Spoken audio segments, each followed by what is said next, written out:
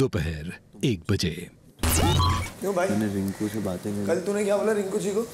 कि मैं एक दिन पहले उड़ाने वाला था और फिर ओ नहीं उड़ा हेलो हेलो टोन डाउन क्या बोल रहा है तू? ये बोली मैं कहीं पर मेरे पर आई कि तूने बोला मैं एक दिन पहले उड़ाने वाला था और नॉमिनेशन पे नहीं उड़ाया समझ पूरी बात बैठ के बात बताया कर नहीं नहीं बोलो ना मेरे को बताओ। पूरी बात हाँ इन्होंने हाँ पूरी बात इन्होंने बताया। मैंने बोला कि अरुण भाई ने समर जैसे गया ना तो अरुण भाई ने बोला कि समर तो उड़ाएगा ही भाई रिंकू भाई। तो मैंने ऐसा पीछे देखा और मैंने बोला नहीं उड़ाएगा ही। और तूने उतने में बोला कि मैं नॉमिनेट नहीं करना चाहता। तो मैंने ऐसा मुड़ के अरुण भाई को देखा। अरुण भाई मेरे को देखे। बोले भाई कल तो लोग तो कुछ और दिखाते हैं। मैं बोला यहाँ पे लोग और दिखाते हैं उसके अलावा ऊपर का देखना होता है। ऐसे करके ये कॉन्वर्सेशन तेरे को मैं एक चीज़ बोलूँगा जहाँ तक तू मेरे को जानता है जान जानता नहीं तू इस तरह चढ़ ना भाई। इंसान देख के चढ़ा ठीक। तू मेरे से आ, आराम से लेके मेरे को बात करता ना वो- तो जब तक क्लियर नहीं है तो मेरे पे कैसे चढ़ और अब है? बात करूँगा मैं जाके सिंपल तो मेरे से क्लियर नहीं है तो कैसे चढ़ सकता है भाई?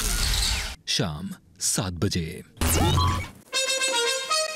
सॉरी एक घंटा।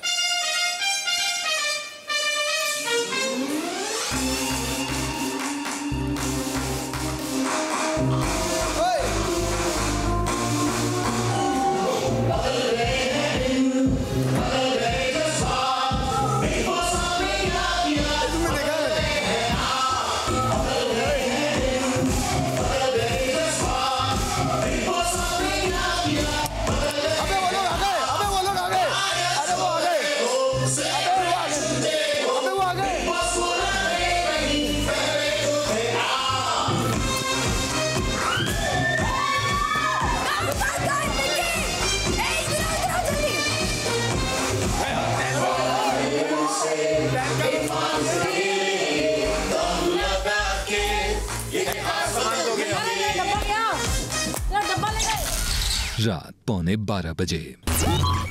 यार ईशा देख कितनी सुंदर बॉडी है लड़के की देखिए ओ माय गॉड ये। कैसे आवाज़ें निकालता है? या। या। तेल का भाई। या। अरे तेल का भाई मैं चली जाती हूँ। ये क्या आवाज़ आ निकाल रहा रे? अरे तेरे। मेरा मन करण की बॉडी को टच करके आती हूँ एक सेकेंड करना एक बार। या। तेल का भाई पापा को कुछ बात करनी है करें। कहाँ- कहाँ पंजाब से हो तो? दादाजी को बता दो। तो ये पंजाब में कहाँ रहते हो तुझे? मैं सर मंडी गोविंदगढ़। तो पढ़ाई पढ़ाई वढ़ाई पूरी कर रखी है? हाँ है जी मैकेनिकल इंजीनियर हूँ मैं। तो कोई लड़की वड़की तो नहीं ज़िंदगी में? नहीं जी एक ही थी छोड़ छाड़ के चली गई।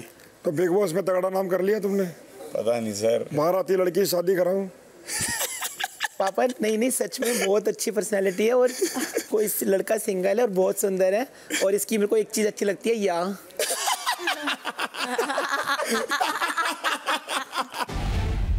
सोमवार से शुक्रवार रात 10 बजे और शनिवार, रविवार रात 9 बजे।